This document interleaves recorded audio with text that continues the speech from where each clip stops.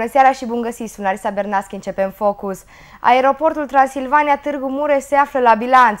Conducerea aeroportului a anunțat că traficul aerian s-a triplat de la începutul anului și până acum.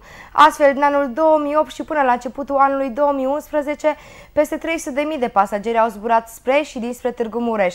Anul acesta aeroportul deține un record, transportând 200.000 de pasageri în doar șapte luni.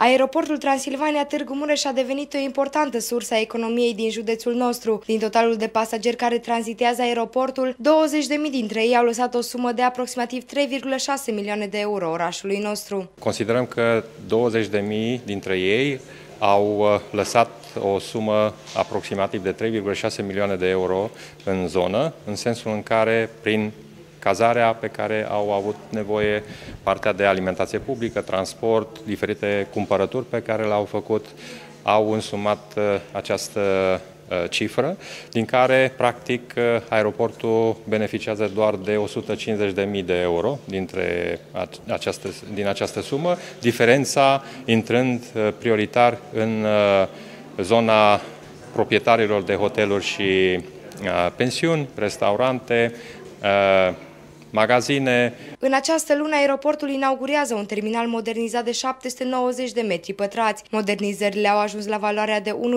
milioane de lei, bani proveniți de la Consiliul Județean Mureș. Terminalul va deservi zboruri către țări non-Schengen. Cea mai importantă destinație operată de Wizz Air de la Târgu Mureș este Londra-Luton, spre care compania oferă patru zboruri pe săptămână.